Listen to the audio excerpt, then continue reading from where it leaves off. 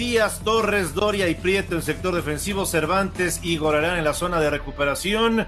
Adelante estará Isijara, Valdés, Otero, que realmente mostró cosas muy interesantes este volante colombiano. Y son los centrales, Dueñas y Rodríguez por fuera, laterales, Carioca, Pizarro, esa contención de siempre, Aquino por izquierda, Quiñones por derecha y Leo Fernández en lugar de Guiñac. Arranca el juego que detiene. que se espere, dice Fernando. Ya aguantes, que Ahora sí, que ahora sí, Fernando Guerrero, yo le digo, arranca el juego que detiene al planeta a través de la señal de Fox Sports. Está jugando el primer tiempo del partido correspondiente a la semana 2 del Guardianes 2021.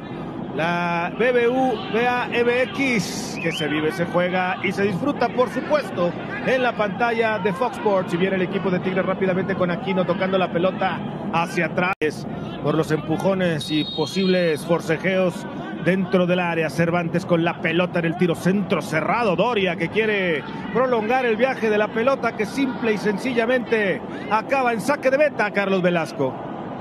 Sí, no pudo conectar Doria como él eh, hubiese gustado. Bien con la del equipo de los Rayados. Pero este tema salió porque me preguntaban si es clásico o no. No, no es clásico. Gran rivalidad, sí. Clásico no, el disparo que va por un costado de la portería cuando Isijara se anima a prenderla fuera del área. El balón se va a saque de meta para Nahuel Guzmán. Clásico, no es más, Yayo, tú sabes, ¿no? Estuviste muchos años ahí. Eh, sigan insistiendo al frente con Rafa. Carioca levanta la mirada. Aquí está el brasileño, filtra bien para Quiñones. La toca Leo Fernández. Ahora le pega. En el fondo está tranquilo, correcto, con esa sobriedad que lo caracteriza el guardián Carlos Acevedo para quedarse con la pelota, Charlie. Sí, la verdad que excelente ahí el guardameta. De Dueñas ya prolonga para donde va el Chaca. Rodríguez la baja bien. La toca de tacón. Aparece Quiñones. Se quiere meter hasta la cocina. Sigue Quiñones. Mandó el centro. Quiñones. A un lado.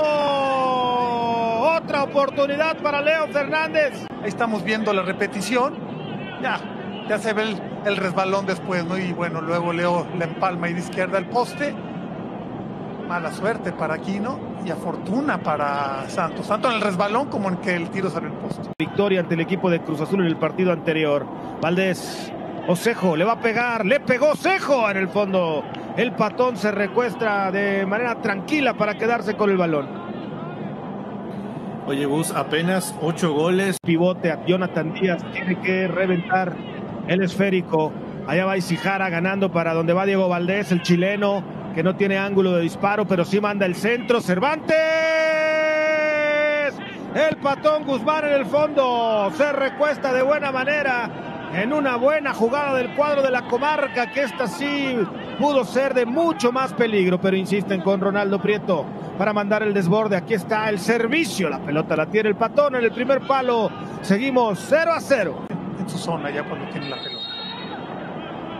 Por lo pronto Leo Fernández le va a cobrar al primer tiro de esquina en el partido. Aquí está el balón por alto. El remate de González todavía era Pizarro el que quería prenderla, pero en dos oportunidades Guido no le pudo dar mejor destino. Después el rebote sigue siendo para el cuadro de la Universidad Autónoma de Nuevo León. Pizarro con Leo Fernández listo para pegar. Leo recorta, sigue Fernández, le va a pegar. Mandó el servicio para Carlos. González,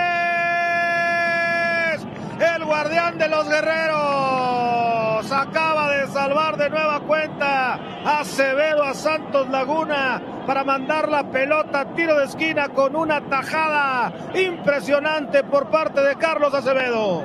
Sí, no, no. Momento en que va forcejeando Ronaldo con Salcedo. A mí en esta repetición, sobre todo en el slow motion, en la cámara lenta, pues se ve cómo le va jalando incluso la camisa.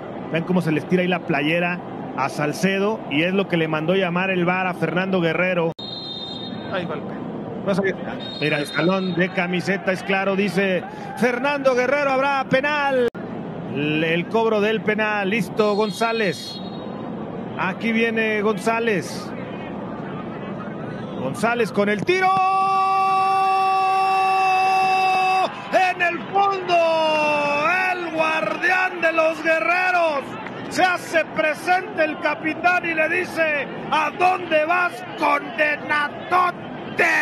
A Carlos González y hace un atajadón. Estamos viendo, adivina, se adelanta un poquito también y estira el brazo y para adentro, para adentro digo, de su cuerpo. Tiene Fernando Gorrerán, recibió la falta, ¿no? Fernando Guerrero dice que limpio otra vez el disparo en el fondo. Acevedo en dos tiempos se queda con el balón. El arquero puede moverse las veces que quiera de lado. Limpio y acaba el primer tiempo, señoras y señores. Santos Laguna y Tigres de la Universidad Autónoma de Nuevo León están 0 a 0. El estaba en la cancha narrando el partido para radio. ¿Cómo olvidar? Ahora lo platicamos porque viene otra vez el cuadro de la comarca. Osejo genera espacio, sigue Beto Osejo con el centro. El remate de Cervantes no puede. Diego Valdés tampoco todavía. En el fondo Alan Cervantes tocando la pelota. Vamos a ver si viene el servicio. el patón se fue en banda. Nahuel no alcanzó a cortar la jugada. En una aproximación del equipo de Santos Laguna que genera sensación de peligro, pero otra vez la tiene Cervantes, Otero aparece por el costado, va a buscar el centro, Cejo se mete al área, sigue eh, Otero con el centro, el rebote de Isijara. El rechace defensivo evitando cuando Isijara estaba buscando el remate. Luego de cerrar de derecha hacia el centro. Buena pelota para donde aparece el mudo, a ver si le pega Aguirre, ya no tiene espacio, va a buscar el servicio, le pegó de cualquier manera, la pelota se fue cruzada, pero bueno, por lo menos alguien se animó a pegarle. Pues si la pelota la busca otra vez el mudo. Ahorita, perdón Gustavo, ahorita que hablaban de, Fulgencio, ¿no? A ver, te Ahora me dices por qué viene Otero. ¡Gol!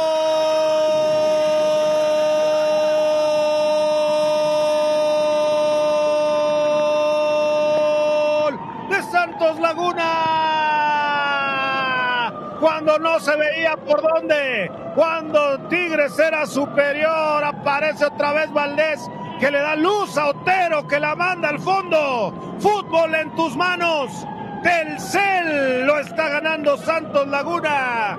1 a 0. Eduardo de la Torre. Eh, pues muy bien, eh, Valdés, que, que, voltea y localiza, fija bien a su compañero Juan Otero, le pone la pelota, no, no para que recepcione, no para que haga una segunda jugada, sino simplemente para que haga eso, con la pierna derecha de primera y este jugador pues la acomoda ahí, tiro cruzado, pegada al poste, con fuerza la verdad que el Tuca hizo una rabieta porque sí, como tú dices, no sabía por dónde, pero sí había, sí había mejorado Santos. No sé si están de acuerdo, ya había hecho un segundo tiempo mucho mejor que el primero. Diego Valdés para Geraldino y qué bombón, qué buen pase Velasco de Geraldino para Otero. Sí había mejorado Santos, pero no había generado opciones claras de gol. Todo. El Chaca no pudo pasar y ahora Santos jugará los espacios del contragolpe. Gorrearán puede tocar para Geraldino, le tocó muy corto a Geraldino. De cualquier manera, Diego Valdés todavía el rebate. ¡Gol!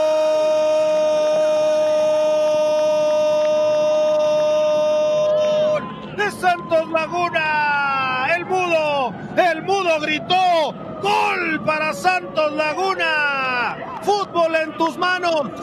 El CEL lo está ganando Santos Laguna 2 a 0. Carlos Velasco. Por más de que Dueñas trató de cortar la jugada, viene ese disparo que rechaza el guardameta y muy bien ubicado Aguirre para darle continuidad a la jugada y atento para ese rebote para conseguir el segundo tanto. Bueno, pues el rostro de, del Tuca lo dice todo. Eh, una, gran, una gran reacción por parte de Santos. Aquí la repetición, cómo llega Dueñas, pero inmediatamente se aviva bien el jugador de Santos para sacar ese disparo y es justamente donde la coloca. ¿eh? Por más que se estira Nahuel Yayo, pegadita al poste, excelente lo de Aguirre. Qué gran victoria por parte del cuadro de Almada. Se ve la repetición así por atrás, cómo le mete. Porque viene Quiñones, otra vez Acevedo achicando, metiendo valiente el cuerpo para evitar que Quiñones pudiera marcar el descuento. Laguna, y acá viene otra posibilidad. Hacia el frente buscaba el cuadro verde y blanco. Vamos a ver si puede ganarla al final Lozano. Ya termina recuperando Geraldino que le pega desde ahí. Se alcanza a barrer el Titán Salcedo y Nahuel que sigue arriesgándose, pero al final de cuentas terminó sacando bien la pelota. los nombres, pocos nombres rimbombantes, pero un plantel que con esfuerzo, con garra, compite para pelearle a cualquiera y así lo ha demostrado una vez más, ganándole 2 a 0 a los Tigres.